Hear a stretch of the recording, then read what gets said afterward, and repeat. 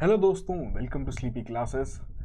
तो आज का एक बहुत ही इंपॉर्टेंट हमारा सेशन रहेगा, एक ऐसा टॉपिक जिससे रिलेटेड बहुत सारे डाउट्स बहुत सारे एक्सपीरियंस के मन में बैठे रहते हैं। और एक ऐसा टॉपिक है जो कि बहुत बेसिक नेचर का है, ठीक है? जब हम इकोनॉमी की शुरुआत करते हैं स्टार्टिंग में ही इस टॉपिक के बारे में हम बात करते हैं।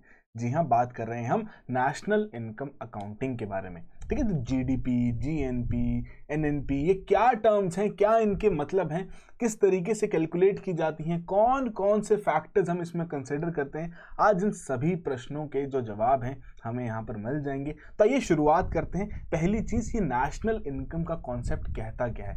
क्या इसे हम समझने की कोशिश करते हैं? तो बेसिकली ये जो कॉन्सेप्ट है, क्या मेजर करता है? इकोनॉमिक एक्टिविटी किसी भी एक पर्टिकुलर इकोनॉमी में। अब जब वो चीज़ मेजर करेगा तो किस तरीके से मेजर करेगा? कि एज एन इंडिकेटर के तरीके से वो मेजर करेगा। कि किस प्रकार से वहाँ पर किसी भी देश में प्रोग्रेस हो रही है, कैसे वहाँ पर ग्रोथ हो रही है। कि अगर उस देश की नेशनल इनकम बढ़ रही है तो मतलब उस देश में विकास हो रहा है, ठीक है? तो अब इसको टाई किसके साथ कर दिया गया था? आपके जीडीपी के साथ। कि जैसे जैसे देश की जीडीपी बढ़ती जाएगी ग्रॉस डोमेस्टिक प्रोडक्ट जो कि अभी हम डिस्कस करेंगे एक्चुअली होता क्या चीज़ है जैसे जैसे वो वैल्यू बढ़ती जाएगी वैसे वैसे हम कहेंगे कि नेशनल इनकम उस देश की वहाँ पर बढ़ रही है, कि उस देश के द्वारा, उस इकोनॉमी के द्वारा ज़्यादा पैसा यहाँ पर कमाया जा रहा है और साथ के साथ उस देश में विकास भी यहाँ पर हो रहा है। उसके अलावा आपके जो जीडीपी हो गया एनडीपी जीएनपी एनएनपी ऐसे कॉन्सेप्ट्स भी यहाँ पर रहते हैं, इनके माध्यम से भी यहाँ पर हम डिराइव करते हैं। तो वही चीज़ आज हम यहाँ पर समझने की कोशिश करेंगे। शुरुआत करते हैं, सबसे पहला जो आपका कंपोनेंट रहता है, इस पूरी प्रिपरेशन की जो आपकी स्टार्टिंग जो जर्नी रहती है हमेशा इकोनॉमी के, वो रहती है जीडीपी के साथ। कि जीडीपी क्या चीज़ है? ग्रॉस डोमेस्टिक प्रोडक्ट रिप्रेजेंट करता है टोटल मॉनिटरी या फिर मार्केट वैल्यू अब ये देखो मॉनेटरी या फिर मार्केट वैल्यू का कॉन्सेप्ट यहाँ पर क्यों डाला गया? ये दो अलग अलग टर्म्स यहाँ पर क्यों रखी गई हैं? अभी मैं आपको बता रहा हूँ, बाद में आपको इस चीज़ को क्लैरिटी भी आएगी। बस अभी तक एक चीज़ याद रखना मॉनेटरी जो वैल्यू यहाँ पर रिप्रेजेंट कर रही है, ये फैक्टर कॉस्ट को कर रही है। जब हम दोबारा फैक्टर कॉस्ट और मार्केट प्राइसेस की बात करेंगे ना, तब आपको वो ध्यान आएगा। और जो मार्केट वैल्यू रिप्रेजेंट कर रही है ना, वो आपके मार्केट प्राइसेस को रिप्रेजेंट कर रही है। बस इतना ध्यान रखो। Apart from that total value of all the finished goods as well as services जो कि देश की बाउंड्री के अंतर्गत रखते हुए प्रोड्यूस किए गए हैं, उन्हें हम यहाँ पर क्या मानेंगे कि वो उस देश की जीडीपी का हिस्सा बन गए ठीक है? कि वो उस देश की जीडीपी को यहाँ पर रिप्रेजेंट कर रहे हैं। Again total value of all the finished goods and services जो कि किसी देश की बाउंड्री के अंदर यहाँ पर तैयार किए गए हैं। तो सिंपल सा एग्जांपल लूँ कि सर किस तरीके से, कौन से गुड्स एंड सर्विसेज़ की बात कर रहे हैं आप यहाँ पे? तो अभी आप यहाँ पर समझ लीजिए लेक्चर को यहाँ पर देख रहे हैं, ठीक है, आप यूपीएससी एस्पिरेंट है या आप किसी और एग्ज़ाम की भी तैयारी कर रहे हैं, उसके लिए भी आप एक वीडियो यहाँ पर देख रहे हैं। तो उस केस में आपको किस किस चीज़ों की ज़रूरत पड़ेगी? आपको तीन तरीके के कॉम्पोनेंट्स की ज़रूरत पड़ेगी। दो आपके गुड्स हैं, एक आपकी सर्विस है। कुछ नोटबुक्स की ज़रूरत पड़ेगी, कुछ पेन्स की ज़रूरत पड़ेगी और आपको कुछ ऑनलाइन लेक्चर्स की भी आवश्यकता वहाँ पर पड़ेगी, ठीक है? तो मान लेते हैं जो नोटबुक्स है, उनका जो प्राइस है तीस रुपए का है, दस पेन की आपको यहाँ पर ज़रूरत है, ठीक है? तो उसके लिए दस पेन आपके लिए बनाए भी जा रहे हैं। सॉरी दस नोटबुक्स यहाँ पर बनाई भी जा रही हैं। पेन आपका दस रुपये का है। आप बहुत लिखने के शौकीन हैं मेन आंसर राइटिंग भी बढ़ चढ़ के यहाँ पर कर रहे हैं तो आपके बीस पेन तो यहाँ पर लगी जाएँगे। ठीक है जी? उसके बाद आपने ऑनलाइन लेक्चर किसी का वेल किया, एक ही लेक्चर था, जिसका प्राइस आपको यहाँ पर पाँच सौ का पड़ गया। ठीक है? तो अगर मैं निकालूँ कि यहाँ पर एग्जैक्टली कितनी वैल्यू की गुड्स एंड सर्विसेज़ प्रोड्यूस हुई तो मैं कैसे निकालूँगा कि मैं देखूँगा कितनी पहली बात क्वांटिटी यहाँ पर प्रोड्यूस हुई और क्या उसका प्राइस वहाँ पर चल रहा है।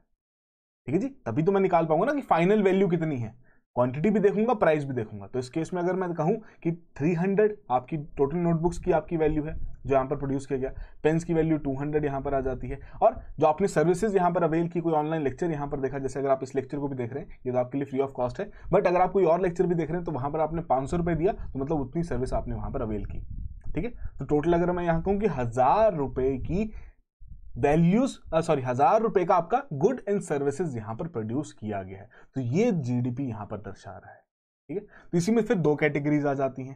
पहली कैसी रहती है? नॉमिनल जीडीपी दूसरी आ जाती है रियल जीडीपी तो आप बोलेंगे, सर, अब ये क्या चीज़ है? तो अभी हमने क्या स्टैब्लिश किया कि जीडीपी के लिए हम क्या करते हैं? जो quantity of the goods and services उसको मल्टीप्लाई किससे करते हैं? प्राइस के साथ, ठीक है? अब मैं नॉमिनल के केस में क्या कह रहा हूँ? नॉमिनल के केस में मैं ये कह रहा हूँ कि भैया ये रिप्रेजेंट कर रहा है आपके करंट प्राइजेस को। ये रिप्रेजेंट कर रहा है करंट प्राइजेस को, कि जो करंट अभी प्राइजेस चल रहे हैं, ठीक है जी? आपका दस रुपए की नोटबुक थी सॉरी तीस रुपए की नोटबुक थी, दस रुपए का पेन था, पाँच सौ रुपए का ऑनलाइन लेक्चर था, ठीक है? वो उसके हिसाब से आपने यहाँ पे कैलकुलेट की। तो वो जितनी भी आपकी फाइनल वैल्यू आई, वो आपका जीडीपी नॉमिनल बन गया, या जीडीपी एट करंट प्राइसेस यहाँ पर बन गया, ठीक है? अब अगला क्वेश्चन मेरा यहाँ पर आपके लिए क्या आता है? अगला क्वेश्चन मेरा ये आता है तो रियल जीडीपी क्या है? तो रियल जीडीपी बेसिकली क्या कह रहा है? ये कह रहे हैं कि हम किसी एक बेस ईयर के प्राइजेस को यहाँ पर यूज़ करेंगे। ताकि एक्चुअली में हम जब भी जीडीपी नंबर्स देखें तो हम ये पता लगा पाए कि ये जो पर्टिकुलर कंपोनेंट है जीडीपी की कैलकुलेशन में जो क्वांटिटी की बात करते हैं ना क्वांटिटी मतलब कितने नंबर ऑफ़ गुड्स यहाँ पर प्रोड्यूस किए जा रहे हैं। ठीक है? अगर हम चाहते हैं कोई देश यहाँ पर विकास की ओर आगे बढ़े तो मतलब वहाँ पर उनकी मैन्युफैक्चरिंग कैपेबिलिटी बढ़नी चाहिए, अच्छे गुड्स वहाँ पर प्रोड्यूस करने चाहिए, ज़्यादा तादाद में वहाँ पर प्रोड्यूस करने चाहिए, ताकि वो उन्हें फर्दर एक्सपोर्ट भी कर सकें, ठीक है? बट अगर हम किसी देश के जीडीपी नंबर्स को वहाँ पर देखें, जिसमें हमने क्या बोला कि क्वांटिटी इनटू प्राइस हम उसके माध्यम से उसको वहाँ पर डिराइव कर रहे हैं तो उस केस में हम क्या कह सकते हैं कि शायद अगर किसी देश में इन्फ्लेशन आ रही हो तो शायद उसकी जीडीपी वहाँ पर इन्फ्लेटेड दिख रही हो। कह सकते हैं कि नहीं? उसी केस में हमने रियल जीडीपी के केस में क्या कहा? कि हम एक बेस ईयर के प्राइसेस यहाँ पर यूज़ करेंगे। कि वैसे ही, अगर मान लीजिए, आज की डेट में ये प्राइसेस चल रहे हैं, आज से दो से तीन साल पहले, जिसका हमने बेस ईयर माना है नोटबुक्स आपकी बीस रुपए की थी पेन आपके पाँच रुपए के थे, और ये आपका लेक्चर जो था, तीन सौ या ढाई सौ या दो सौ रुपए, तीन सौ रुपए यहाँ पर मान लेते हैं, उतने का था। ठीक है? तो उस केस में वैल्यू कैसे चेंज हो जाएगी? अगर क्वांटिटी सेम ही है, अगर क्वांटिटी में कोई फ़र्क यहाँ पर नहीं पड़ा है तो वैल्यू में किस प्रकार का चेंज आएगा? उस तरीके से हम यहाँ पर देख लेते हैं तो जीडीपी जो थी आपकी सिक्स हंड्रेड रुपीज़ ही वहाँ पर निकली। ठीक है? जहाँ हज़ार रुपए की जीडीपी हमने देखी एज पर द नॉमिनल या फिर करंट प्राइजेस के हिसाब से तो रियल जीडीपी के हिसाब से हमने क्या देखा कि सिक्स हंड्रेड रुपीज़ की ही यहाँ पर आपकी final goods and services produce की गई है। ठीक है? अगर यहाँ पर क्वांटिटी चेंज होती गई हम ईयर बाय ईयर उसको कैलकुलेट कर रहे हैं और ईयर बाय ईयर उसको कम, वहाँ पर कंपेयर भी कर रहे हैं। तो अगर जीडीपी के नंबर्स वहाँ पर चेंज हो रहे हैं रियल जीडीपी के केस में, जहाँ पर हमने प्राइजेस को फिक्स कर दिया है तो उस केस में हम क्या कह सकते हैं कि जी हाँ यहाँ पर क्वांटिटी बढ़ाई जा रही है, उनकी जो प्रोडक्शन लेवल्स हैं, वो बढ़ चुके हैं। ठीक है तो इस चीज़ का आपको यहाँ पर ध्यान रखना और यही बेसिक सा डिफरेंस भी है नॉमिनल और रियल जीडीपी के केस में। फिर आगे, बात आती है कि एनडीपी क्या चीज़ है। तो कभी भी अगर समझना हो कि ग्रॉस से नेट की ओर हम कैसे जा रहे हैं सिंपल सा ट्रांजेक्शन किस प्रकार से यहाँ पर देखा जाता है कि आप उसमें से डेप्रीसिएशन को माइनस कर दीजिए। आपके द्वारा अगर कोई मशीन यहाँ पर यूटिलाइज की जा रही हैं, जिसके माध्यम से आप इतने सारे गुड्स एंड सर्विसेज़ प्रोड्यूस कर रहे हैं तो भैया उनकी डेप्रीसिएशन भी तो होगी, उनका वेयर टीयर भी तो होगा, या जिसे हम क्या कहते हैं consumption of fixed assets C F A इस प्रकार की टर्म्स भी वहाँ पर यूज़ की जाती हैं। तो ग्रॉस डोमेस्टिक प्रोडक्ट से अगर हमें नेट डोमेस्टिक प्रोडक्ट के ऊपर यहाँ पर जाना है तो ग्रॉस डोमेस्टिक प्रोडक्ट में से हमें डेप्रीसिएशन को बाहर निकालना पड़ेगा। हमारे पास एनडीपी की वैल्यू यहाँ पर सामने आ जाएगी, ठीक है, जिसमें आपके इनडायरेक्ट टैक्सेस सब्सिडीज यहाँ पर इंक्लूड नहीं किए जाते, ठीक है? और ये भी यूज़ किया जाता है as an economic analysis tool कि यहाँ पर जो आपकी वियर एंड टीयर हो रही है, आप उसको बाहर निकाल दे रहे हैं, उसकी वैल्यू को आप बाहर कर दे रहे हैं। फिर आप इफेक्टिवली देख रहे हैं कि आपका एग्जैक्टली exactly कितनी वैल्यू की गुड्स एंड सर्विसेज़ यहाँ पर प्रोड्यूस हुई हैं। ठीक है? तो ये इस चीज़ का भी यहाँ पर ध्यान रखना है कि एनडीपी किस तरीके से कैलकुलेट किया जाता है। अच्छा फिर आगे बढ़ते हैं। नॉमिनल और रियल जीडीपी के केस में दोनों का एक डिफरेंशिएशन एक दोनों को कंपेयर करते हुए एक टेबल यहाँ पर तैयार किया गया अच्छा हमने रियल जीडीपी के केस में क्या कहा? कि यहाँ पर आपका कोई एक बेस ईयर लिया जाता है और उसके प्राइजेस को हम यूज़ करते हुए जीडीपी की कैलकुलेशन यहाँ पर करते हैं। तो करेंटली आपका 2011 से 12 का जो बेस ईयर है, जो आपका फाइनेंशियल ईयर है, इस ईयर को यहाँ पर यूज़ किया जाता है ताकि आपकी जीडीपी की कैलकुलेशन यहाँ पर की जा सके। ठीक है? तो दोनों के बीच में क्या डिफरेंस है वो मैंने आपको बता दिया कि आपकी वैल्यूएशन इसकी करंट मार्केट प्राइस पर रहेगी, ये बेस मार्केट प्राइस पर रहेगा।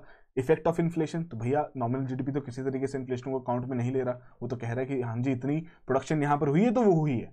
रियल जीडीपी इन्फ्लेशन से खुद को एडजस्ट कर रहा है by taking base year prices during the calculation of GDP expressed current market price में, वो आपका बेस ईयर मार्केट प्राइस में। वैल्यू ऑफ़ जीडीपी डेफिनेटली अगर इन्फ्लेशन आ रही है तो ज़्यादा ही देखने को यहाँ पर मिलेगी, ठीक है? तो मार्केट प्ले जो आपका प्राइस है, उससे कम अगर आपका बेस ईयर का प्राइस रहेगा तो रियल जीडीपी की वैल्यू कम देखने को मिलेगी। अच्छा अब यूज़ कहाँ रहता है? तो यदि आपको क्वार्टर्स को कंपेयर करना है ना, कि दो तेईस चौबीस के फ़र्स्ट क्वार्टर को आपको कंपेयर करना है 2022 तेईस के लास्ट क्वार्टर के साथ। तब आप इस तरीके की नॉमिनल जीडीपी की वैल्यूज़ यूज़ कर सकते हैं। क्योंकि प्राइसेस में तो इतना फ़र्क नहीं आया होगा ना। इफेक्टिवली हमें किस चीज़ के बारे में पता लग सकता है कि भैया क्वांटिटी जो प्रोड्यूस की जा रही है, उसमें कितना डिफरेंस यहाँ पर क्रिएट हुआ है। क्लियर है? बट वहीं अगर हम बात करें रियल जीडीपी यहाँ पर कैसे यूज़ करेंगे? जब आपको फाइनेंशियल ईयर्स को यहाँ पर कंपेयर करना है। उसमें तो आपका इन्फ्लेशन का थोड़ा लेवल्स ऊपर नीचे हो सकता है। ठीक है? तो वहाँ पर आपने बेस ईयर के वैल्यूज़ निकालते हुए आपने दो ईयर्स को यहाँ पर, दो फाइनेंशियल ईयर्स उनसे ज़्यादा को यहाँ पर कंपेयर कर लिया।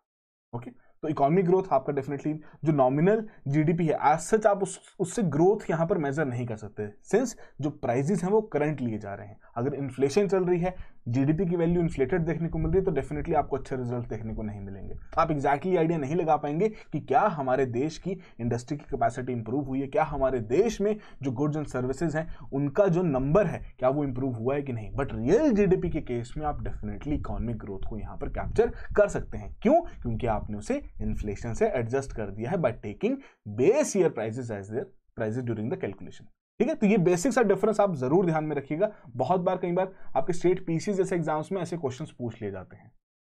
अच्छा फिर आती है बात कि भैया जीडीपी की कैलकुलेशन किस तरीके से की जाती है? तो बेसिकली तीन आपके मेथड्स यहाँ पर यूज़ किए जाते हैं। पहला है आपका इनकम मेथड कि आप एक तरीके से जितने भी देश के लोग हैं उनके द्वारा जितना भी पैसा यहाँ पर कमाया जा रहा है, आप उसको एक साथ ऐड कर दीजिए। आपके पास फाइनल जीडीपी कैलकुलेशन निकल जाएगी। कैसे? क्योंकि अगर किसी एक व्यक्ति द्वारा वहाँ पर आमदनी जनरेट की जा रही है किसी एक व्यक्ति द्वारा अगर वहाँ पर आमदनी जनरेट की जा रही है तो वो तभी की गई होगी ना जब उन्होंने कोई चीज़ वहाँ पर क्रिएट की होगी। उन्होंने किसी फैक्ट्री में जाके काम किया होगा गुड्स एंड सर्विसेज़ वहाँ पर प्रोड्यूस की गई होगी, तभी तो उनकी इनकम वहाँ पर जनरेट हुई है। ठीक है? तो उसी के हिसाब से हम इनकम मेथड भी यूज़ कर सकते हैं। फिर आता है आपका एक्सपेंडिचर मेथड एक्सपेंडिचर मेथड कि आप एक तरीके से ट्रैक कर लो कि कितना खर्चा यहाँ पर सभी के द्वारा किया जा रहा है। फिर आपके पास फाइनल जीडीपी की कैलकुलेशन निकल जाएगी। खर्चा अगर किया जा रहा है तो किसी ना किसी तरीके की गुड्स एंड सर्विसेज़ को कंज्यूम करने के लिए किया जा रहा होगा। अगर आपके पास इफ़ेक्टिव मेजर्स यहाँ पर नहीं है, जिसके माध्यम से आप जाके हर एक गुड्स में किस प्रकार की प्रोडक्शन है, क्या उनके प्राइजेस चल रहे हैं, आप उनको कैप्चर नहीं कर पा रहे तो आप एक्सपेंडिचर मेथड यहाँ पर लगा लीजिए। आप इजीली ट्रैक कर सकते हैं कि सभी के द्वारा कितना खर्चा किया जा रहा है, सभी को एक साथ जोड़ लीजिए। फिर आती बात आउटपुट मेथड की, जिसे हम ग्रॉस वैल्यू एडेड मेथड भी यहाँ पर कहते हैं। जिसे हम डिस्कस भी करेंगे, ठीक है? तो पहले दो तो आपके इस तरीके से इनकम मेथड सभी की इनकम कैलकुलेट कर लो ऐड कर लो, आपके पास जीडीपी का नंबर आ जाएगा। एक्सपेंडिचर मेथड इनकम नहीं कैलकुलेट करनी तो आप एक काम कीजिए, सभी के खर्चे यहाँ पर देख लीजिए। उसके हिसाब से आपको आइडिया लग जाएगा किसके द्वारा कितना पैसा खर्च किया जा रहा है। तो इसमें जो इंपॉर्टेंट है, वो है आपका एक्सपेंडिचर मेथड तो एक्सपेंडिचर मेथड में ही ये चार कॉम्पोनेंट्स हैं जो कि यूज़ किए जाते हैं। कौन कौन से एक्सपेंडिचर को कंसिडर किया जा रहा है? पहला है जो पर्सनल कंजम्पशन वहाँ पर की जा रही है। ठीक है? आपके गुड्स ड्यूरेबल नेचर के हैं फर्नीचर कार्स इन सभी चीज़ों के आप ऊपर आप यहाँ पर खर्चा कर रहे हैं। सर्विसेज़ के ऊपर आप यहाँ पर खर्चा कर रहे हैं तो डेफिनेटली वो जो खर्चा है वो आपके जीडीपी का हिस्सा यहाँ पर बन जाएगा। फिर आती है बात बिज़नेस द्वारा जो इन्वेस्टमेंट फर्म्स द्वारा जो इन्वेस्टमेंट यहाँ पर की जा रही है। अगर इन्वेस्टमेंट की जा रही है तो डेफिनेटली किसी ना किसी तरीके से कोई गुड्स यहाँ पर जनरेट किए जा रहे होंगे। अगर गुड्स नहीं किए जा रहे होंगे तो डेफिनेटली कोई ना कोई फिक्स्ड इन्वेस्टमेंट कैपिटल एसेट्स की क्रिएशन यहाँ पर की जा रही होगी। तो अगर आप वो इन्वेस्टमेंट ट्रैक कर लें, आपको पता लग जाएगा कितना खर्चा यहाँ पर हो रहा है, कितने नए गुड्स एंड सर्विसेज़ प्रोड्यूस की जा रही हैं। फिर आप देखिए, सरकार द्वारा किस तरीके से खर्चा किया जा रहा है, क्योंकि सरकार भी तो यहाँ पर बहुत इंपॉर्टेंट रोल प्ले करती है ना। सरकार द्वारा भी बहुत सारे इनिशिएटिव यहाँ पर रखे जाते हैं, सरकार द्वारा भी बहुत सारी मैन्युफैक्चरिंग या पूरी इंडस्ट्री में बहुत अहम रोल यहाँ पर निभाया जाता है। तो सरकार की स्पेंडिंग को यहाँ पर ट्रैक कर लीजिए। बट इन दी एंड आपको क्या देखना पड़ेगा कि यदि आपके देश में जो खर्चा किया जा रहा है, आपके देश में जो खर्चा किया जा रहा है या किसी गुड्स एंड सर्विसेज़ को कंज्यूम करने के लिए पैसे खर्च किए जा रहे हैं तो वो जो गुड्स एंड सर्विसेज़ हैं, यदि वो यहाँ पर क्या हो रही हैं? इंपोर्ट हो रही हैं। यदि वो गुड्स एंड सर्विसेज़ यहाँ पर इंपोर्ट हो रही हैं तो आपको उसे बाहर निकालना पड़ेगा। कारणवश, क्योंकि हमने जीडीपी के केस में क्या कहा कि जो सर्विसेज़ और गुड्स हमारी देश की बाउंड्री के अंदर रहते हुए तैयार हुई हैं, हम सिर्फ़ उन्हें ही कंसिडर करेंगे। जो इंपोर्टेड वाली आइटम है भैया, हमारे देश में तो तैयार हुई नहीं, वो तो बाहर से आई है। समझ रहे हैं मेरी बात? वो तो बाहर से ही, बाहर की, अगर यूएस से कोई चीज़ इंपोर्ट की जा रही है, वो तो यूएस की जीडीपी का हिस्सा बनेगा ना? हमारे देश की जीडीपी का क्यों हिस्सा बनेगा? तो आपको उसको यहाँ पर बाहर निकालना पड़ेगा, ठीक है? इसे एक्सक्लूड करना पड़ेगा। फिर आप बोलेंगे, सर एक्सपोर्ट का क्या करें? तो आप खुद ही सोचिए। अब ये ऐसी सर्विसेज़ ये ऐसे गुड्स हैं, जो कि हमारे देश में तैयार किए गए। बट ना बिज़नेस द्वारा उसके ऊपर खर्चा किया गया, क्योंकि वो बाहर चला गया, ना पर्सनल कंजम्पशन में वो आया, ना सरकार द्वारा उसके ऊपर खर्चा किया गया। तो आप उस कंपोनेंट को यहाँ पर ऐड कर लीजिए। ठीक है? तो इसे हम क्या कहते हैं कि net export of goods and services जिसका मतलब यहाँ पर क्या है कि आप जितना आपका एक्सपोर्ट का नंबर है, उसको यहाँ पर रखिए, जितनी आपकी फाइनल वैल्यू है, और इंपोर्ट से उसे सब्ट्रैक्ट कर लीजिए। दोबारा रिपीट करता हूँ इंपोर्ट को हमने क्यों कंसिडर नहीं किया? क्योंकि ये चीज़ें हमारे देश में तैयार हुई ही नहीं है, बाहर से लाई गई हैं। तो अगर इन पर्टिकुलर तीन सिनेरियोज में से किसी प्रकार का खर्चा इन इंपोर्टेड प्रोडक्ट्स के ऊपर किया गया है, उसे बाहर निकाल दीजिए। ठीक है? बट एक्सपोर्ट्स हमारे देश में तैयार हुए इन तीनों द्वारा उस चीज़ के ऊपर खर्चा नहीं किया गया। क्यों? क्योंकि ये बाहर देश में चले गए। वहाँ के लोगों के द्वारा कंज्यूम किए गए। बट बने हमारे देश में तो इसे यहाँ पर ऐड करना ही पड़ेगा। तो दोनों को अकाउंट में लेंगे तो हमारा net export of goods and services यहाँ पर तैयार हो जाएगा। ठीक है? तो इस तरीके से आपका एक्सपेंडिचर मेथड वहाँ पर यूज़ किया जाता है। फिर आती बात की जीएनपी और जीडीपी दोनों के बीच में क्या डिफरेंस है? तो जीएनपी बेसिकली रिप्रेजेंट करता है ग्रॉस नेशनल प्रोडक्ट तो भैया, जब भी इस प्रकार की टर्म आ जाए अब यहाँ पर क्या ध्यान देना है? जीएनपी और जीडीपी के केस में एक सिंपल सा डिफरेंस जो आपको ध्यान देखना है कि भैया जब नेशनल वर्ड जुड़ गया ना यहाँ पे, जब नेशनल वर्ड यहाँ पर जुड़ गया तो आपको यहाँ पर देश के लोगों को यहाँ पर प्रेफरेंस देनी है। तो जीएनपी बेसिकली क्या एस्टिमेट लगाता है? It is the total value of final product and services जो कि एक पर्टिकुलर टाइम पीरियड में यहाँ पर तैयार की गई हैं by the means of production किसके थ्रू जो कि कंट्री के रेजिडेंट्स द्वारा यहाँ पर ओन की जाती है। है? कंट्री के रेजिडेंट्स या कंट्री के सिटीजन द्वारा यहाँ पर ओन की जाती है। तो मान लीजिए अगर कोई बाहर का व्यक्ति है, ठीक है? बाहर का व्यक्ति देश में अंदर आके यहाँ पर काम कर रहा है, उसके द्वारा अगर यहाँ पर कोई काम किया जा रहा है, अब वो देश का रेजिडेंट या सिटीजन तो है नहीं बट उसके द्वारा अगर इस देश में आके काम किया जा रहा है, कुछ पैसा वो जनरेट कर रहा है, कुछ पैसा वो यहाँ से जनरेट कर रहा है, कुछ गुड्स एंड सर्विसेज़ यहाँ पर मैन्युफैक्चर कर रहा है तो वो जीएनपी का हिस्सा यहाँ पर नहीं बनेगा। बट वो जीडीपी का हिस्सा बनेगा क्यों? क्योंकि उसने हमारी देश की बाउंड्री में रह के उस गुड्स का निर्माण किया है। ठीक है जी? तो जीएनपी और जीडीपी के केस में जब जीएनपी की बात आती है तो आपको नेशनैलिटी को यहाँ पर प्रायोरिटी देनी है। तो ये फॉर्मूला वहाँ पर यूज़ किया जाता है कि जीडीपी इज़ इक्वल टू जो आपका GNP minus net factor income from abroad कि यहाँ पर हम बाहर की देशों के में अगर कोई हमारे भाई बंधु हैं, हमारे सिटीजन्स हैं, बाहर जाके काम कर रहे हैं, बाहर से पैसा ले रहे हैं तो उनकी जो इनकम है, उसे भी हम यहाँ पर कंसिडर करेंगे। बट हमारे देश में अगर बाहर के लोग आके काम कर रहे हैं तो उसको हमें बाहर निकालना पड़ेगा।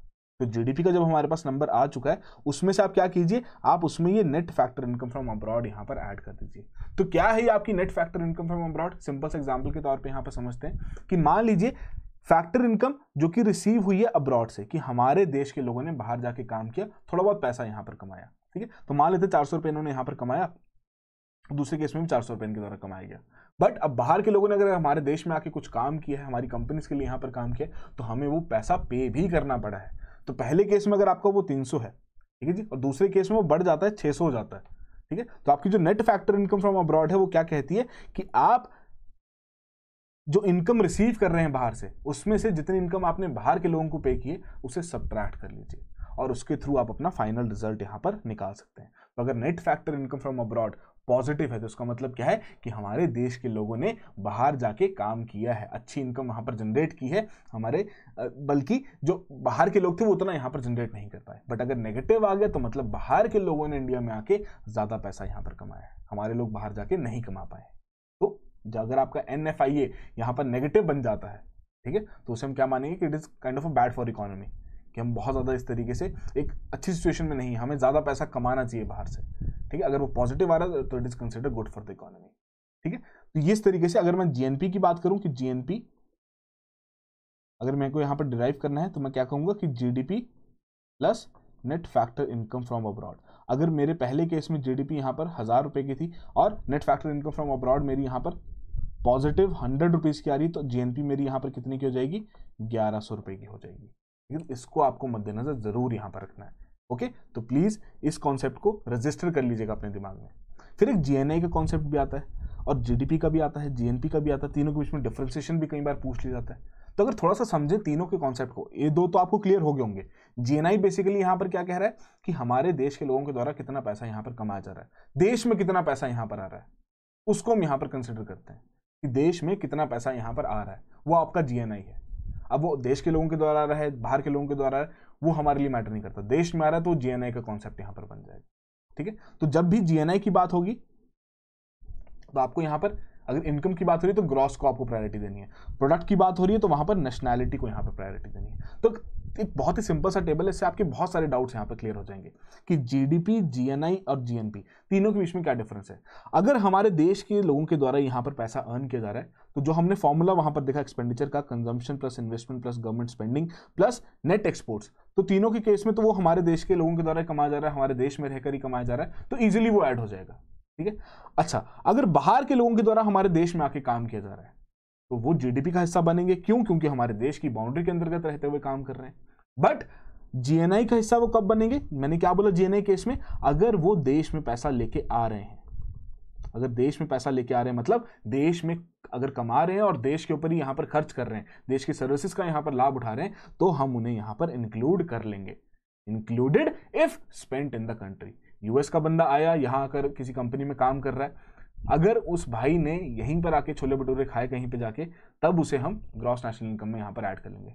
कॉन्सेप्ट है। हालाँकि हमारा जो जीएनए का कॉन्सेप्ट है, काफ़ी सारी आपकी टेक्स्ट बुक्स में नहीं मिलता बट कुछ कुछ सोर्सेज जो कि इसे रेफर करते हैं। ठीक है? अच्छा जीएनपी केस में भाई बाहर का आदमी था, देश में आया है नेशनैलिटी को हमें यहाँ पर प्रेफरेंस देनी है तो जितना मर्ज़ी पैसा यहाँ पर कमा ले, ठीक है? हम उसे यहाँ पर इंक्लूड नहीं करेंगे, सारी चीज़ों को एक्सक्लूड कर देंगे as per the formula of the net factor income from abroad फिर आती बात residents out of the country देश के लोग हैं, बाहर जाके रह रहे हैं। अब बाहर जाके रह रहे हैं, बाहर जाके अगर कोई इनकम अर्न कर रहे हैं तो वहाँ जाके उन्होंने कुछ ना कुछ पैसा कमाया होगा। वहाँ जाके उनके द्वारा कोई गुड्स एंड सर्विसेज़ तैयार की होंगी। तो भैया जीडीपी का तो हिस्सा नहीं बनेंगे। क्यों? क्योंकि हमारी बाउंड्री से बाहर जाके उनके द्वारा किया गया है। जीएनआई का हिस्सा कैसे बनेंगे? भैया देश में तो पैसा आ रहा है ना। देश में तो वापस पैसा आएगा ना। तब हम उसे मानेंगे। तो अगर वो पैसा वापस भेजते हैं, ठीक है? पैसे का खेल है यहाँ पर ग्रॉस नेशनल इनकम में। जहाँ मर्ज़ी सारा, बस पैसे को देखना है। अगर वो पैसा वापस भेजते हैं, तब उसे हम इंक्लूड करेंगे। बट जीएनपी केस में हमने क्या बोला? देश के लोग हैं, कहीं पे भी प्रेजेंट हो, कोई भी पैसा उनके द्वारा कमाया जा रहा हो, हम उसे डेफिनेटली यहाँ पर इंक्लूड करेंगे, जैसे कि एन में हमने देखा था। अच्छा फॉरनर है, बाहर काम कर रहा है, बाहर कमा रहा है तो उससे तो हमारा कोई लेना देना है ही नहीं। तीनों पैरामीटर्स में हम उसे यहाँ पर एक्सक्लूड कर देंगे। तो आई होप ये जो पर्टिकुलर कॉन्सेप्ट है, यहाँ पर आपका क्लियर हो गया। जीडीपी जीएन जो जीएनपी उन तीनों के बीच में क्या यहाँ पर रिलेशनशिप है? चलिए, आगे बढ़ते हैं। फिर आती बात फैक्टर कॉस्ट और मार्केट प्राइस की। तो देखिए, जब भी कोई प्रोडक्ट यहाँ पर तैयार होता है, किसी भी फैक्ट्री में तैयार हो रहा है, ठीक है, फिर फाइनली कहाँ जाएगा? मार्केट में जाएगा। मार्केट में जाएगा तो बीच में कुछ कुछ उसके ऊपर टैक्सेस वहाँ पर लगाए जाएँगे, ठीक है? कुछ सब्सिडीज उस वहाँ पर अवेल कर सकता है वो। तो ये जो टैक्सेज और सब्सिडीज हैं, इनको आप अकाउंट में यहाँ पर लेंगे, ठीक है? किस प्रकार से? कि अगर वो प्रोडक्ट यहाँ पर तैयार हो गया है और वो फैक्ट्री के गेट पर वहाँ पर बैठा है फैक्ट्री के गेट पर प्रोडक्ट बिल्कुल तैयार होकर बैठा है तो मतलब वो फैक्टर कॉस्ट वहाँ पर लेके बैठा है, जिसमें हमने कौन कौन से कॉम्पोनेंट्स कि कितना लेबर वेजेस वहाँ पर पे किए गए अपार्ट फ्रॉम दैट जो एंटरप्रेन्योर है उसके कितने प्रॉफिट्स हैं, कितना रॉ मटेरियल यहाँ पर लगा, ठीक है? अगर ऑलरेडी किसी प्रकार के प्रोडक्शन से रिलेटेड टैक्सेस या फिर सब्सिडी ऑलरेडी पेड है प्रोडक्ट से रिलेटेड नहीं प्रोडक्शन से रिलेटेड कोई टैक्सेस और सब्सिडी ऑलरेडी पेड है, उसको हम यहाँ पर अकाउंट में लेंगे, फिर फाइनल कॉस्ट उसकी वहाँ पर निकलेगी, ये प्रोडक्ट की फाइनल फैक्ट्री की कॉस्ट है। फैक्ट्री की गेट पे इतनी उसकी कॉस्ट पड़ रही है। उसका ट्रांसपोर्टेशन टैक्सेस सब्सिडी सब कुछ लगा के मार्केट में कितने में बिक रहा है, वो आपका मार्केट प्राइस यहाँ पर रहेगा। तो अगर सिंपल सा एग्जांपल मैं यहाँ पर लूँ फैक्ट्री के गेट पर एक प्रोडक्ट की कॉस्ट थी यहाँ पर सौ रुपये ठीक है? फिर उसके ऊपर एडिशनल टैक्सेस यहाँ पर कितने के लगाएँगे? बीस रुपये के लगाएँगे। बट उस प्रोडक्ट पे दस रुपये की सब्सिडी भी थी तो वो माइनस हो जाएगी। फाइनली तो वो आपका मार्केट में जाके कितने का बिकेगा? 110 का बिकेगा ना, क्योंकि इफेक्टिवली सौ रुपये उसका फैक्ट्री के गेट पे था नेट जो उसके ऊपर टैक्सेस लगे, वो बीस रुपए के लगे थे, दस रुपये की उसको सब्सिडी वहाँ पर अवेल होगी थी तो उस केस में आपका ये एक सौ दस हो जाएगा। अगर सब्सिडी यहाँ पर ज़ीरो हो जाए तो उस केस में आपकी इसकी वैल्यू एक सौ बीस ही रहेगी, ठीक है? तो ये आपका फैक्टर कॉस्ट और मार्केट प्राइस के बीच का डिफरेंस है। ये कैसे और रिलेशनशिप ड्रॉ किया जाता है? तो market price is equal to factor cost plus जो इंडायरेक्ट टैक्सेस वहाँ पर लग रहे हैं एंड माइनस सब्सिडी जो वहाँ पर अवेल की जा रही है। क्लियर है? तो ये सिंपल सा कॉन्सेप्ट है। अच्छा जो मैंने उस टाइम आपको वहाँ पर कहा था कि जीडीपी की जो डेफिनेशन वहाँ पर हमने देखी थी तो उसमें दो टर्म्स वहाँ पर यूज़ हुई थी। एक थी मार्केट वैल्यू और एक थी दूसरी मॉनेटरी वैल्यू ठीक है? मार्केट वैल्यू, अगर आपका GDP at market price calculate किया गया है, तब हम उस वैल्यू को वहाँ पर, तब इस टर्म को हम यहाँ पर यूज़ करते हैं कि GDP at market price is equal to the market value of all the goods and services जो कि हमारे देश में प्रोड्यूस किए गए हैं। But GDP at factor cost आपकी फाइनल मॉनिटरी वैल्यू की रिप्रेजेंट कर रहा है कि एक्चुअली में उस प्रोडक्ट को बनाने के लिए पूरा पैसा कितना लगा एक तरीके से, जिसमें प्रॉफिट भी यहाँ पर डाल दिया हमने अपने प्रोड्यूसर का, जिस जिस द्वारा पैसा वहाँ पर कमाया गया है। ठीक है जी? तो इस तरीके का, इस तरीके की टर्मिनोलॉजीज का भी बिल्कुल यहाँ पर ध्यान रखना है। चलिए।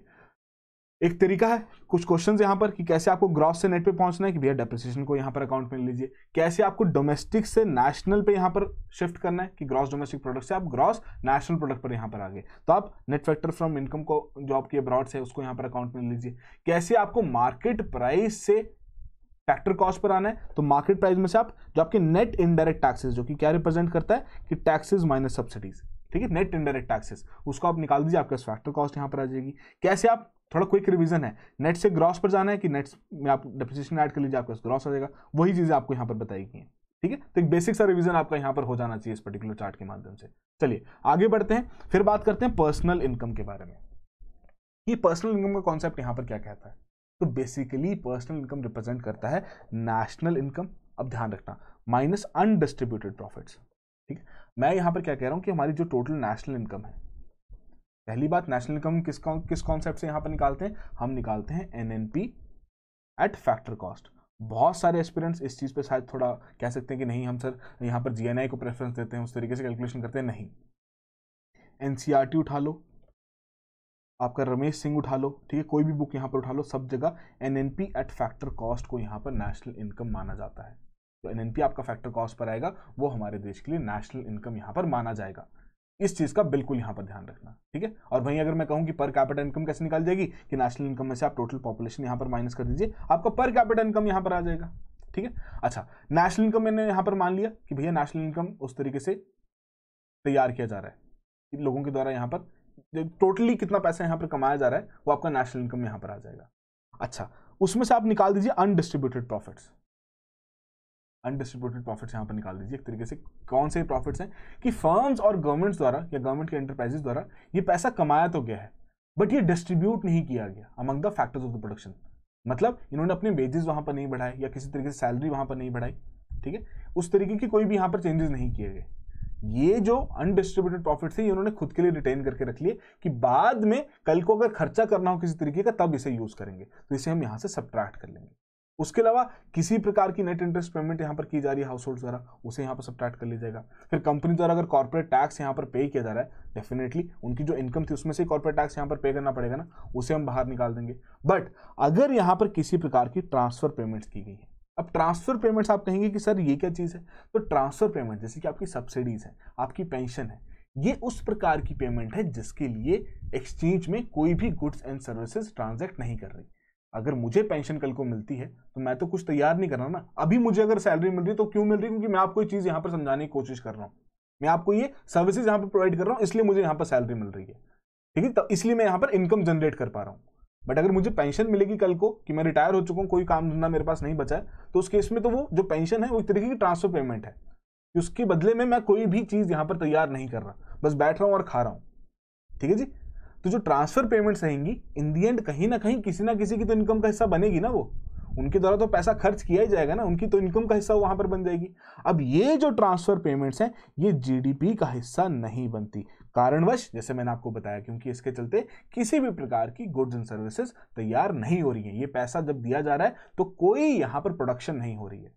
ठीक है तो जीडीपी का हिस्सा नहीं बनता बट पर्सनल इनकम का यहाँ पर हिस्सा ये बन जाता है। क्योंकि ट्रांसफ़र पेमेंट्स अगर किसी भी तरीके से सरकार या फर्म्स द्वारा यहाँ पर की गई हैं तो किसी ना किसी की इनकम का तो ये हिस्सा यहाँ पर बनेगा ही बनेगा। तो इस प्रकार से आपकी जो टोटल पर्सनल इनकम है, वो यहाँ पर कैलकुलेट कर ली जाती है। इस प्रकार के फॉर्मूले से। अनडिस्ट्रीब्यूटेड प्रॉफिट क्योंकि किसी की इनकम का हिस्सा नहीं बने कंपनी ने या सरकार ने अपने खुद के पास रिटेन कर ली, कल को देखेंगे कहाँ पे खर्चा करना है, कल को काम आएगा, हो सकता है किसी प्रकार का बफर यहाँ पर मेंटेन कर रहे हो तो डेफिनेटली उसे हम बाहर निकाल देंगे। ठीक है? कॉर्पोरेट टैक्स पेमेंट की जा रही है। सरकार को पेमेंट जा रही है, ठीक है जी? किसी प्रकार का। ये जो पैसा है, ये अपने एम्प्लॉयज़ के साथ शेयर नहीं कर पा रहे कॉर्पोरेट टैक्स का, ठीक है जी? तो सरकार को ऑलरेडी जा चुका है तो डेफिनेटली इसे भी हम बाहर निकालते हैं बट ट्रांसफ़र पेमेंट्स को हम यहाँ पर इंक्लूड ज़रूर करेंगे। फिर वही बात आती है कि पर्सनल डिस्पोजेबल इनकम क्या चीज़ है। अब मान लीजिए मेरे पास अगर मेरी पर्सनल इनकम यहाँ पर पचास हज़ार रुपये की हो जाती है, ठीक है? पचास हज़ार रुपये मेरी पर्सनल इनकम है। भैया मेरे ऊपर भी तो कुछ ना कुछ लाइबिलिटीज होंगी, मुझे टैक्स भरना पड़ेगा। तो टी डी एस मान लेता हूँ कि मैं पाँच हज़ार का टी डी एस यहाँ पर कट जाता है, दस परसेंट के हिसाब से, ठीक है? अभी टी डी एस यहाँ पर कटना है। अब सरकार ने अगर मेरे ऊपर कोई फाइन लगा दिया मान लीजिए एक हज़ार रुपये का, वो भी यहाँ पर काटना पड़ेगा। क्योंकि ये तो ऑब्लिगेशन है ही है। ये मेरे द्वारा पे किया ही जाना है, मैं इससे बच नहीं सकता। तो मैं इन दोनों कंपोनेंट्स को यहाँ पर बाहर निकाल दूँगा। बचेगा टोटल कितना मेरे पास? 44,000 तो ये जो 44,000 है ये पर्सनल डिस्पोजेबल इनकम यहाँ पर रहेगी। अब ये मेरे ऊपर है कि मैं इसको कैसे यहाँ पर खर्च करना चाहता हूँ। ठीक है जी? तो पर्सनल इनकम में से आप पर्सनल टैक्स पेमेंट जो आपकी है उसे बाहर निकाल लीजिए। और जो भी आपकी नॉन टैक्स पेमेंट से किसी प्रकार की फाइन्स वगैरह अगर यहाँ पर आप पे कर रहे हैं उसे आप बाहर निकाल दीजिए। आपके पास पर्सनल डिस्पोजेबल इनकम यहाँ पर फाइनल आ जाएगी। अगर किसी देश में, उन देश के नागरिकों की पर्सनल डिस्पोजेबल इनकम यहाँ पर बढ़ रही है तो कहीं ना कहीं एग्रीगेट डिमांड में ओवरऑल डिमांड में इनके द्वारा पुश भी देखा जाएगा। क्यों? क्योंकि इनके द्वारा अगर डिस्पोजेबल इनकम ज़्यादा है, अगर मान लीजिए इसी तरीके से मेरी डिस्पोजेबल इनकम यहाँ पर साल भर में सत्तर हज़ार हो जाए तो मतलब मेरा खर्चा भी बढ़ेगा ना। जैसे टैक्स वैक्स मैंने पे कर दिया, सब कुछ मेरी लाइबिलिटी यहाँ पर खत्म होगी, अब मैं इस प्रकार से नए गुड्स के ऊपर खर्चा कर सकता हूँ। ठीक है? तो ये पूरा कॉन्सेप्ट यहाँ पर आपका कहता है। तो एक बार क्विकली यहाँ पर रिवाइज कर लेते हैं। एन और आपका जीडीपी दोनों को ऐड किया, हमारा जीएनपी यहाँ पर आया था। जीएनपी में से आपने डेप्रिसिएशन बाहर निकाल दिया, आपका एनएनपी एट मार्केट प्राइस यहाँ पर आ गया। मार्केट प्राइस से हम क्या कहेंगे कि भैया आपको यहाँ इनडायरेक्ट टैक्सेस जो आपने पे किए हैं, उसको बाहर निकालना पड़ेगा सब्सिडीज को आपको यहाँ पर बाहर निकालना पड़ेगा। ठीक है? मार्केट प्राइस में आपने टैक्सेस ऐड देख लिए और उसके अलावा आपने सब्सिडीज यहाँ पर बाहर कर दी। आपके पास क्या आ जाएगा? फैक्टर कॉस्ट पे यहाँ पर वैल्यू आ जाएगी। क्लियर है ये चीज़? तो उसके बाद वो हमारे लिए नेशनल इनकम यहाँ पर बन जाएगा। नेशनल इनकम में से आपके undistributed profits corporate tax transfer payments इन सभी को यहाँ पर अकाउंट मिली आपके पास पर्सनल इनकम आ गई। पर्सनल इनकम में से आपने जो आपकी टैक्स पेमेंट्स है नॉन टैक्स पेमेंट्स हैं, उनको यहाँ पर डाल दिया, आपके पास पर्सनल डिस्पोजेबल इनकम आ गई। तो ये ट्रांजिशन है जीडीपी से पर्सनल डिस्पोजेबल इनकम का, जो कि आपको यहाँ पर ध्यान में रखना है। फिर आती last but not the list gross value added तो ग्रॉस वैल्यू एडेड यहाँ पर क्या चीज़ है? ग्रॉस वैल्यू एडेड यहाँ पर क्या समझाता है? सिंपल सा कॉन्सेप्ट है। अब मान लीजिए, जैसे हमने फैक्ट्री की बात की थी ना कि उस फैक्ट्री ने कोई प्रोडक्ट यहाँ पर तैयार किया, ठीक है? उसको मार्केट तक यहाँ पर लेके गया। बट फैक्ट्री ने अगर कोई प्रोडक्ट तैयार किया तो उसने कुछ ना कुछ तो रॉ मटेरियल यहाँ पर यूज़ किया ही होगा ना। अब मान लीजिए, जो फैक्ट्री है, बिस्किट्स की है। एक कार्टन इन्होंने बिस्किट का यहाँ पर तैयार किया, जिसकी वैल्यू सौ रुपये थी। अब जीडीपी तो आ गई कि हाँ जी भैया, सौ रुपये का वैल्यू यहाँ पर तैयार हुआ है, ठीक है? बट इस प्रोडक्ट को बनाने के लिए आपका कुछ ना कुछ यहाँ पर इनपुट तो लगा होगा ना। तो मान लेते हैं एक थैली थी आटे की जो कि इस प्रोडक्ट को बनाने के लिए यहाँ पर लगी, आटे के बिस्कुट्स हैं तो उसके लिए एक थैली आटे की थी, एक दस किलो का आटा था जो कि यहाँ पर यूज़ हुआ। और दस किलो के आटे की जो कीमत थी वो चालीस रुपए की थी। ठीक है? तो यहाँ पर जीवीए मेथड यहाँ पर क्या कहता है कि इस फैक्ट्री द्वारा, इस फैक्ट्री द्वारा नेट ग्रॉस वैल्यू एडिशन कितने का किया गया? मतलब इसने फाइनल गुड तैयार किया हज़ार रुपए का बट इसने चालीस रुपए के रॉ मटेरियल भी यूज़ किए। तो इसके द्वारा फाइनल वैल्यू एडिशन कितने की हुई? वो हुई साठ रुपए की। आप सभी सेक्टर सभी इंडस्ट्रीज़ के जीवीए यहाँ पर निकाल दीजिए, उन सभी को ऐड कर लीजिए। आपके पास टोटल जीडीपी का नंबर यहाँ पर आ जाएगा कि हर एक सेक्टर द्वारा कितनी वैल्यू की गुड्स एंड सर्विसेज़ हमारे देश में प्रोड्यूस की गई हैं। ये सिंपल सा कॉन्सेप्ट यहाँ पर ग्रॉस वैल्यू एडिट का कहता है, जो कि आपका आउटपुट मेथड भी है। Third method of computing the GDP जिसमें हमने आउटपुट माइनस इंटरमीडिएट कंजम्पशन यहाँ पर रखी और उसके हिसाब से हमारा जीबीए की वैल्यू यहाँ पर आ गई। क्लियर है चीज़? तो ये सिंपल सी कहानी आपको ध्यान रखनी तो जीवी आपको एक तरीके से किस साइड की पिक्चर दिखाता है? सप्लाई साइड की, कि जहाँ पर प्रोडक्ट्स तैयार हो रहे हैं। बट जीडीपी आपको एक्सपेंडिचर मेथड के थ्रू आप कैलकुलेट कर रहे हैं, कितना यहाँ पर लोगों के द्वारा खर्च किया जा रहा है। खर्च जो किया जा रहा है, वो लोगों की डिमांड को रिप्रेजेंट कर रहा है तो जीडीपी आपको डिमांड साइड का जो परस्पेक्टिव वो यहाँ पर दिखाता है। तो आरबीआई पहले जीबीए मेथडोलॉजी यूज़ करता था, अब उनके द्वारा जीडीपी बेस्ड मेजर यहाँ पर यूज़ किया जाता है ग्रोथ एस्टिमेट्स कैलकुलेट करने के लिए। पर इसमें भी अब तीन तरीके की कॉस्ट आती हैं। एक आती है आपकी फैक्टर कॉस्ट एक आती है आपकी एट बेसिक प्राइसेस और तीसरी आती है आपकी मार्केट प्राइसेस पे। ठीक है? तो फैक्टर कॉस्ट में मैंने क्या कहा था कि जो फाइनल प्रोडक्ट पूरा तैयार होकर आपका वहाँ पर बन चुका है, ठीक है? वो आपका फैक्टर कॉस्ट यहाँ पर आ जाएगा। बट उस प्रोडक्ट के ऊपर आपने कुछ ना कुछ प्रोडक्शन टैक्सेस भी दिए होंगे, अगर आपकी फैक्ट्री है आपके द्वारा कोई एडिशनल आपने मशीन वहाँ पर परचेज की, उसके ऊपर आपने टैक्स दिया होगा, ठीक है? अगर उसके लिए आपको सब्सिडी मिल गई होगी तो आपको उसको सब टैक्स यहाँ पर करना पड़ेगा। क्योंकि आपकी वो इनपुट कॉस्ट यहाँ पर कम होगी ना। जब टैक्सेस आपने पे किए, मान लीजिए सौ रुपये का आपका फाइनल वैल्यू यहाँ पर ग्रॉस वैल्यू तैयार हो जाती है फैक्टर कॉस्ट पे, कि आपकी फाइनल वैल्यू इतनी आती है। अगर आपने कोई एक्स्ट्रा टैक्सेस यहाँ पर पे किए थे, पाँच रुपये के तो वो आपके यहाँ पर ऐड हो जाएँगे। वैल्यू यहाँ पर पहुँच जाएगी एक सौ पाँच, ठीक है? बट अगर आपने सब्सिडी यहाँ पर अवेल की थी दस रुपए की तो आपकी वैल्यू यहाँ पर नाइन्टी फाइव की आ जाएगी। वो आपका फाइनल आ जाएगा बेसिक प्राइसेस पे कॉस्ट ठीक gross value added at basic prices but basic prices फिर आप मार्केट प्राइस पे तक कैसे पहुंचोगे? कि डेफिनेटली अब आपने कुछ ना कुछ किसी प्रकार के मैं माफ़ी चाहूँगा ये आपके प्रोडक्शन नहीं प्रोडक्ट रहेंगे। Product taxes as well as जो आपकी प्रोडक्शन सब्सिडीज हैं उसको यहाँ पर ध्यान रखना है कि आपने वहाँ पर उस प्रोडक्ट को बाहर लेके जाने के लिए मार्केट तक लेके जाने के लिए आपने जीएसटी पेमेंट वहाँ पर की होगी। ठीक है बाकी आपने कोई आपके आ, किसी प्रकार के लॉजिस्टिक चार्जेस वहाँ पर लगेंगे। उसके ऊपर आपने टैक्सेस वगैरह पे किए होंगे। जितने भी आपके रहेंगे, वो ऐड हो जाएँगे कि 95 का था, ये जितनी भी वैल्यू थी, ये बीस रुपये की यहाँ पर आ गई। बट प्रोडक्ट के ऊपर सब्सिडी ऐसा अवेल नहीं थी, पाँच रुपये की सब्सिडी यहाँ पर मिल रही थी। तो 95 से बीस रुपये आपका यहाँ पर एक सौ पंद्रह की वैल्यू बन गई। उसके बाद फाइनल वैल्यू जो आपकी मार्केट पर कितने की पहुँची है? एक सौ की। तो ये तीन कॉस्ट भी हैं जो कि यहाँ पर इंक्लूड की जाती हैं। ठीक है जी?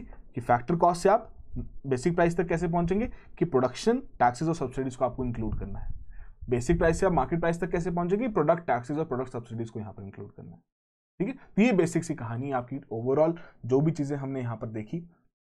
पूरी नेशनल इनकम अकाउंटिंग से रिलेटेड बहुत ही क्रिस्प फॉर्मेट में मैंने आपको यहाँ पर समझाने की कोशिश की है। हालाँकि जब हमारे फाउंडेशन बैचेज रहते हैं तो वहाँ पर अप्रॉक्सीमेटली एक से डेढ़, सवा घंटा थोड़ा डिटेल और डिटेल में यहाँ पर चीज़ें समझाई जाती हैं। लाइव क्लासेज में तो वैसे भी इंट्रैक्शन होती है, कोई चीज़ समझ नहीं आती तो वो पूछ लेते हैं, ठीक है? तो रिसेंट जो चेंजेस किए गए थे जीडीपी कैलकुलेशन से रिलेटेड आपको पता होना ज़रूरी है। 2015 के जो चेंजेस थे पहली चीज़ बेस ईयर यहाँ पर चेंज कर दिया गया था। 2004-5 का यूज़ हो रहा था अब 2011-12 का यहाँ पर यूज़ हो रहा है। अपार्ट फ्रॉम दैट अब हम जो कैलकुलेशन करते हैं वो मार्केट प्राइसेस पे करते हैं फैक्टर कॉस्ट पे नहीं करते।